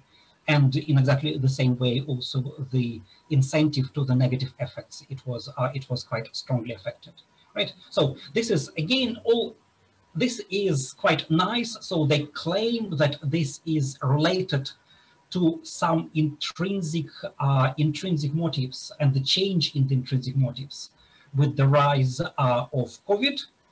Uh, but the question is actually, can you trust this data? Because, and this was already mentioned, there is a difference in genres because uh, the prediction model was built on the basis of descriptions of pictures. So this is this is a narrative genre. And then, uh, and, and the prediction was done on Twitter without uh, regard for the kinds of type of texts uh, uh they, uh, they used for prediction. And this led us actually to uh, to look into uh, into this future project, which combines the strength of our text classification with their text classification. So that, uh, so on the one hand, in Twitter, you have different kinds of texts, right? And then uh, you can talk about predicting uh, advice or reference information or propaganda or, uh, or informative reporting. And also you can, uh, you can talk about predicting various linguistic properties. So then whether a text expresses emotions or whether there is presence of uh, any evidential relations or the, the other property is, for example, readability. And then we can, we can in principle predict uh, whatever uh, is, uh, uh whatever kind of personal profiles can be obtained from the social media posts, uh, provided that we have enough data. The other question is also about the languages. So in, so in presentations we heard today, this was primarily about Russian, Russian, Russian. Then obviously we have quite a lot of data for English, but to what extent this corresponds to uh, what we have in other languages, such as Russian, right? So first of all, we have different theories. Second, uh, we have uh, uh, uh, we have different data collection procedures, but also quite importantly, we also have different cultures. And what is important in the Anglo-Saxon culture might be uh, not so important in the German-speaking culture and uh, and then it will be quite different from uh, uh, from the Russian culture. So in this case, so it would be nice to have uh, various bits. So for first of all, demographic uh, information, then some of the personal traits, such as intrinsic motives, which they have. And for Big Five and for Myers-Briggs, there are also training data. So you can try this, but then the question is about comparison, right? and then also worldviews are quite important and there is so this is this is what i know from from the social scientists that there is a correlation between political views and the medical uh, and, and, and, medical opinions of people so for for example uh, the political stance uh, it is uh, it is it is known that in the united states in in counties who voted for trump uh, the rate of mask use is uh, lower and uh, it is also reflected in the higher COVID death rate in those areas. So, so obviously you can, you can find some kind of correlation between different kinds of values and worldviews. And also uh, people talk about biases and then the question is whether we can predict to what extent the person will be biased. And then on this basis, so this is the ideal case, we would like to predict what makes which readers forward what, right? So then, then you have uh, you have a Facebook post, and not everyone obviously trusts it, right? But then some people do trust them, and then they forward them. And then what makes uh, whom uh, forwarding this? That's that's that's an open research question, and we would like to explore this cross-culturally. The problem is precisely that you can't have one and the same model which works across cultures. And the other thing is that social scientists they're primarily interested in the society, in the uh, in I mean that, that in uh, in the entire society or in a meaningful section of the society. The problem is that we are getting data from social media, and not everyone is active on social media. Even fewer people they are uh, they share data via social media. And in this respect, if we focus and the current focus of research in social sciences and in psychology is primarily on getting data from social media. And this is a problematic thing because, because we are actually dealing with a small section of the society. So I, that's, that's it. I was asked to be uh, short. Uh, so I think that I can, I can stop sharing the screen. Right. And Thank you. Thanks, uh, Sergey. So usually when I, when I attend, uh, you know, roundtables, uh, there is always what I see. If uh, the, the, the chair of the round table tries to be nice with the presenters, but is a bad chair, at the end there is no time for discussion. So this is uh, also what happened to me. I try to be nice, uh, uh, I mean, to all of you and uh, but at the end I've been a bad chair because we have just approximately five ten minutes. I don't know the time uh, you wanted to stay longer no problem for uh, for me. Um, so uh, the way i would proceed now i mean instead of suggesting a certain order because of the questions uh, that were made by each of you. I will uh, give the floor to the attendees and the, depending on their interest in investigating and asking in uh, actually answering some of the questions, I mean, they will be the ones to, to start. So please, if you're still there after such a long day. So very, very diverse topics have been covered some very mm, ethical, philosophical, and uh, how to, I mean, uh, I, don't know. I, yes. I can say Please. maybe yes. You know, uh, my my feeling is that um, in uh, in um, these areas uh, which are covered maybe in, in, in this conference and in dialogue, the situation is much, much worse. for example, if we compare how it was 20 years ago. And um, maybe it's, it's because of, of, of, of um, domination of um, social networks because while it was like you know you just used we, we used FTP servers, for example, for our data and uh, email for, for our communication. Uh, we had uh, all the things uh, in our hands, but now we are using, because it's easier, using social networks and and uh, we, uh, the society, we as a society, we are giving, giving like driving possibilities to some companies and it, it, it, it is very, very, very dangerous and strange. Uh, so, uh, uh, and uh, all, not all, but many research topics also became dangerous.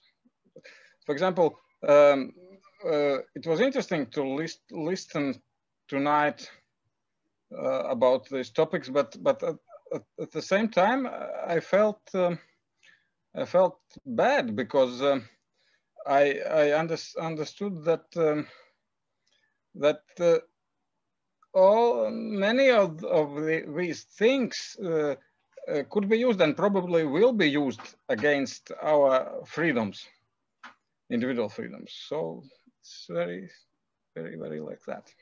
Thank you. Ah, and uh, uh, one question to Sergey. Uh, did you did you started to uh, to to think about about this topic about um, related to COVID uh, because you you was interested pers personally or because European Commission is giving money for such things? No, okay, I can I can declare that uh, this project did receive money from the British government. Uh, that's that's for sure, not from from the European Commission, but this is this is actually one of the things we would like to have, right? So no, so the the thing is that I'm a researcher, and I, so pro probably also Paolo will be able to answer uh, with his position uh, in this respect. And uh, so then definitely we have the Cambridge Analytica scandal, and this is just one of the examples of what can uh, what a technology in personality profiling can do in order to disrupt disrupt the civil society. But at the same time, we also need to understand what is going on. And uh, social media uh, provides us with a way of looking into the society. As I said towards the end of my talk, actually, society is not equal to social media, right? So then we only understand what is, we, we have a window now to understand what is going on in social media. And this window is a bit narrow on the one hand. On the other hand, uh, so my interest in doing this is to do this for ethical reasons. Uh, so I want to understand how information flows on social media and also how misinformation flows. And then I don't like the fact that misinformation flows. And therefore, if there is a way of understanding, so if, if we understand this, then potentially uh, as a society, and you are part of the society, I'm also part of the same society, we can find ways of, uh, of uh, stopping this, or at least not exactly entirely stopping, because this is, this is a, mm, always a cat and mouse game, but then uh, this, uh, so we can at least find a way of understanding this and limiting uh, damage, for example, produced by misinformation. At least this is this is my opinion. I I, I don't know. Paolo might have an, another opinion. Uh, of course, of course, a good researcher can can uh, can bring bring out some honey from a sheet too. But uh, I would be more happy if researchers would be able to choose topics of the research, not because of financial reasons, but just because of their interest. Well, uh, yes, this is a fact that, uh, well, uh, we are, uh, as a researcher, so we are uh, curious, uh, or we should be curious people. So mm, most of the cases, uh, we try to investigate the topics uh, we, we are intrigued uh, by. And um, certainly, if also, I mean, some money in order to have, you know, um, PhD students to help uh, in uh, in this uh, arrives even better. But money shouldn't be the the, the, the first reason. am I sure? And I'm sure that it wasn't for Sergei. Um, either, but but it helps. I'm more worried about what you said because I, I, I know that in well, probably everywhere, but in certain countries more. And I know, I mean, I've been collaborating with many countries, so it's uh, it's difficult to infer to what the country I'm referring uh, to. Um, nobody from uh, this country is attending this conference at the moment, as far as I've seen the, from the surnames. But uh, yes, a country, let's say in Asia, uh, I collaborated with, uh, a bit. I know that uh, actually PhD students at the end, uh, PhD students working with social media data at the end of their degrees have the dilemma if I mean, uh, receiving uh, good money in order to track what's going on uh, on social media, what the people say and so on for the government or not. So uh, this is uh, scary. and uh, but yes, this is unfortunate. It has been always like this. so it's it's not it's not easy. It's not easy, especially if you live and if you work in certain countries. Um, I mean, it's more difficult than uh, than on average, but uh, I would say it's a global uh, problem. I mean, we could be tracked. I mean, everywhere. There is a, a, a hand by Larissa. Yes, I want just to answer the same question because it's very uh, important question, even for me, because I'm working in a field that could be used in different ways.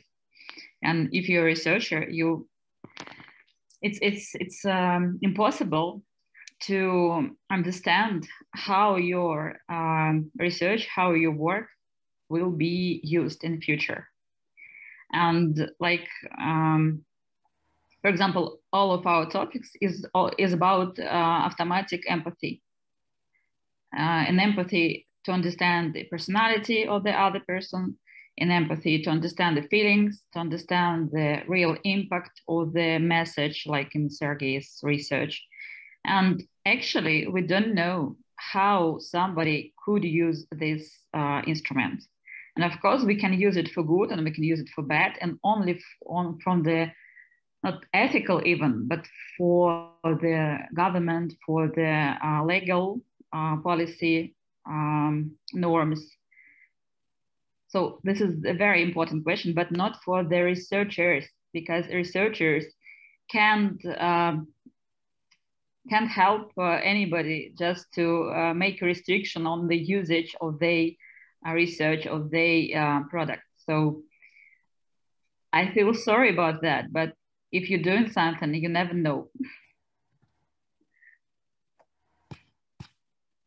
Well, about uh, what uh, Tatiana was uh, uh saying, uh, that we should move not towards a, a binary gender, but considering more, let's say, categories.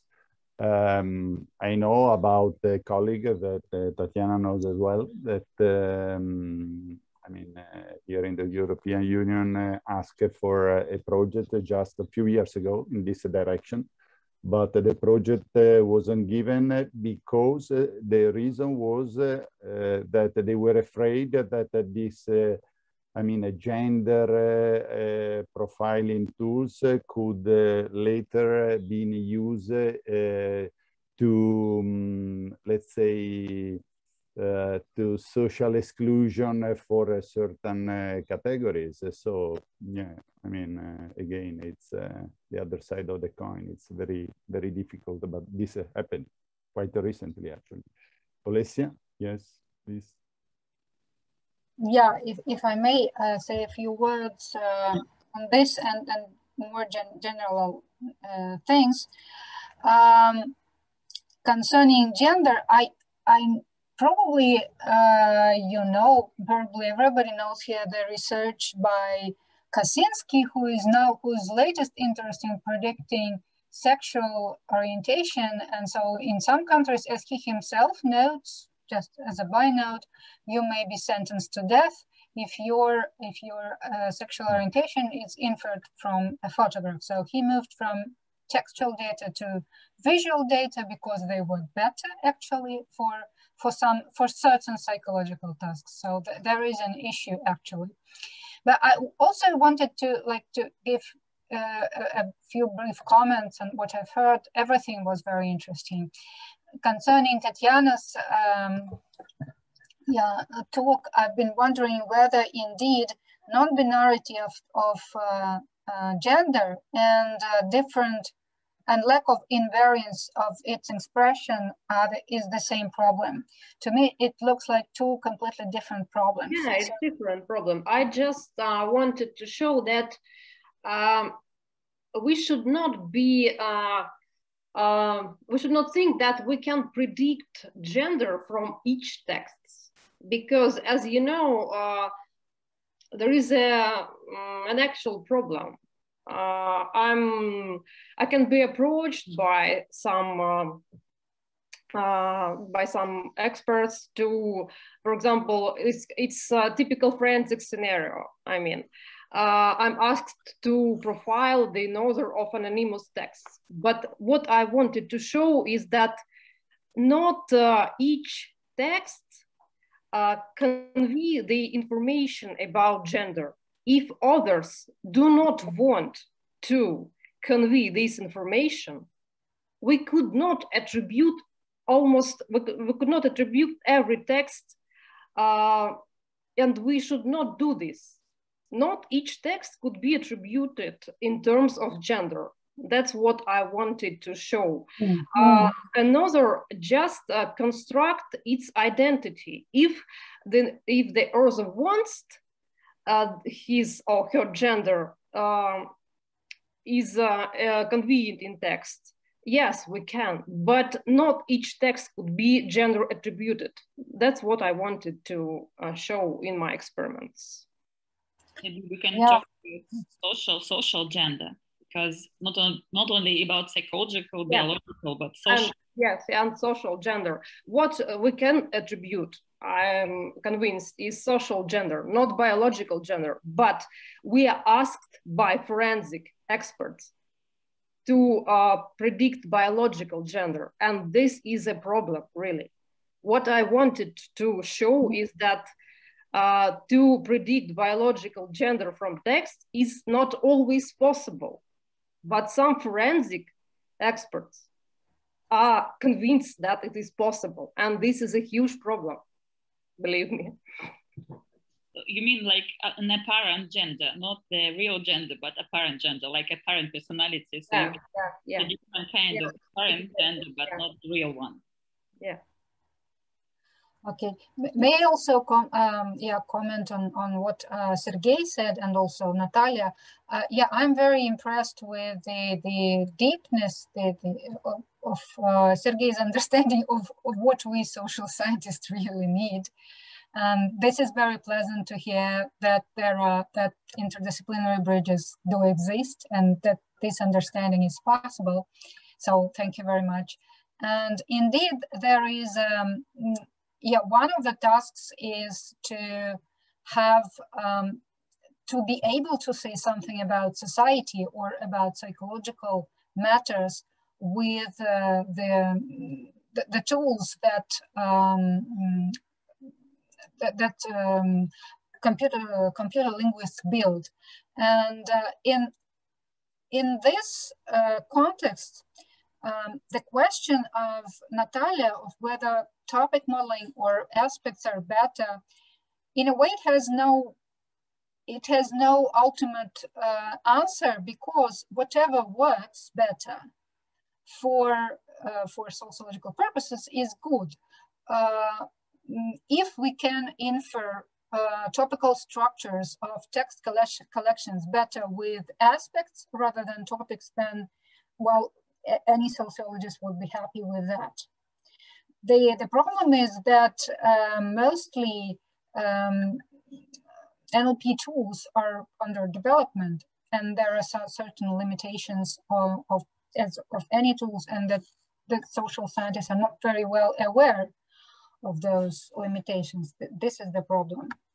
Uh, but but I, have also have spotted that in, in a way the discussion has tackled two large topics. Like one of them is how to build uh, these tools that can social scientists and psychologists help measure their whatever they want to measure to use in their models. And the other is how do we build predictive automatic detection uh, models that are aimed not at explanation, but at screening, for example, or, or whatever, forensic uh, purposes. And these seem to be two different tasks. And the second is closer to machine learning and computer science. And the first is merely uh, sort of in the, in the first, when you just build tools of measurement for variables that will be used in sociological models, this looks like a very um, um, so that, that this uh, in, in this particular task, the computational linguistic tools play a supportive, uh, supportive role.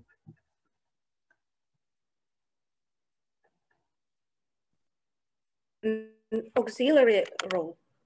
Oh, oh, auxiliary, yeah. So, uh, and this is also a problem in terms of collaboration because what is interesting in to, to social scientists and what is publishable, publishable in social scientists and science and psychological journals maybe not so much interest, uh, maybe not so much interesting for computational social scientists because they would say, okay, this is just a usage of a ready-made tool and there is no novelty in terms of linguistics in it whatsoever. So why would we collaborate? Why would we sort of support something or supply some something for your for your ends? Do it yourself.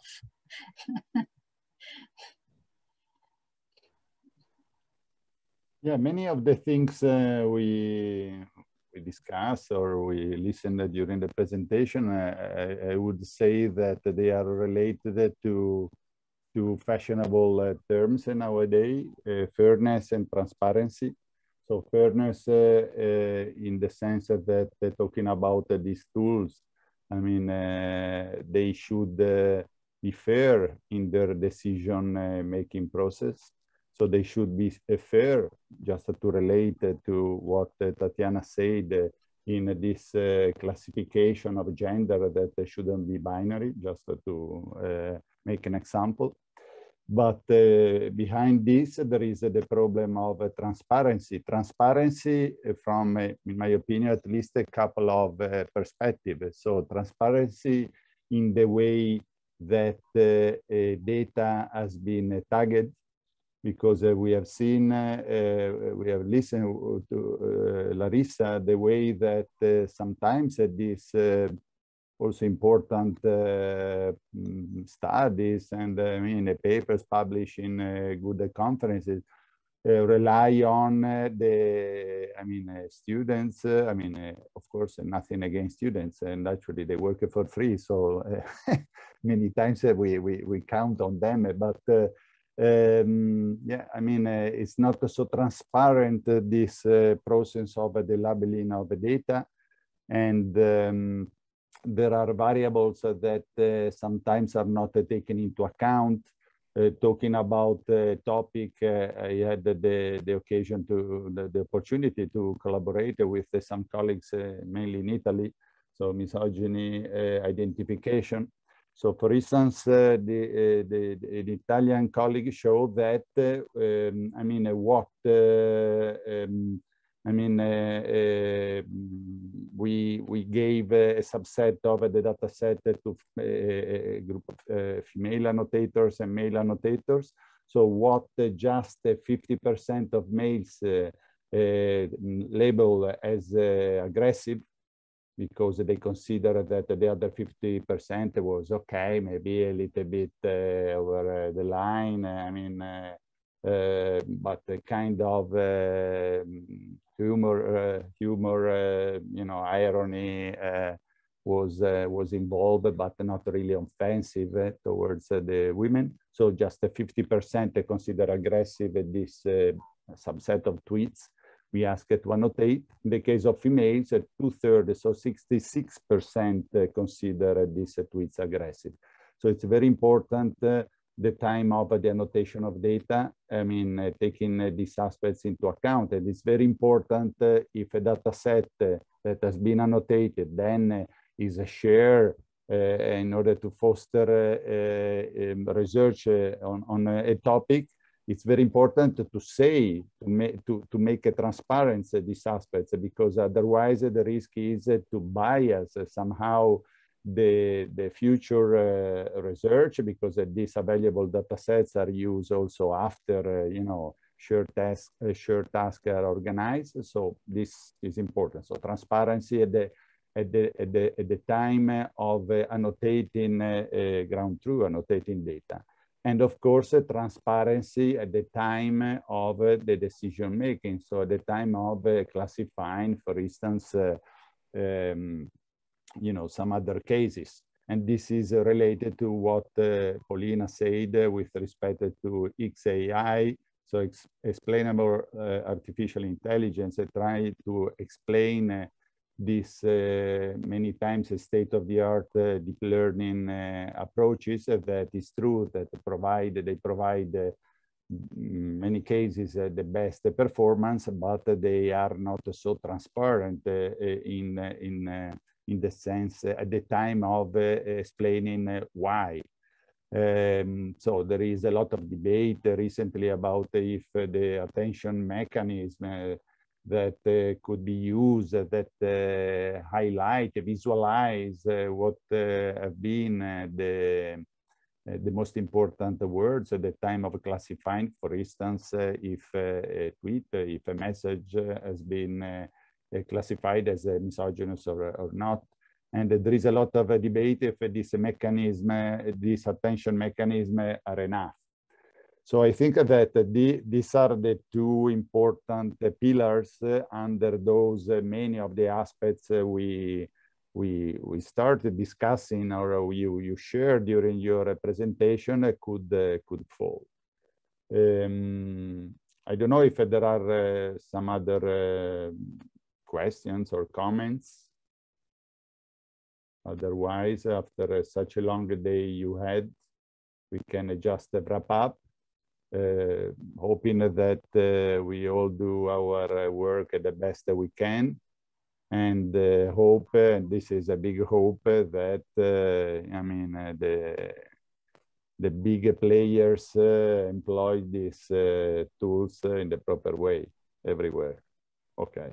I will leave you with this hope. Spasiba to everybody, and maybe after uh, coronavirus is over, we'll meet uh, somewhere physically sometime. Uh, Grazie, Paolo. Do svidania. Bye, yeah. Thank you, Paolo. Thanks, Thanks everyone. Thank you. Bye.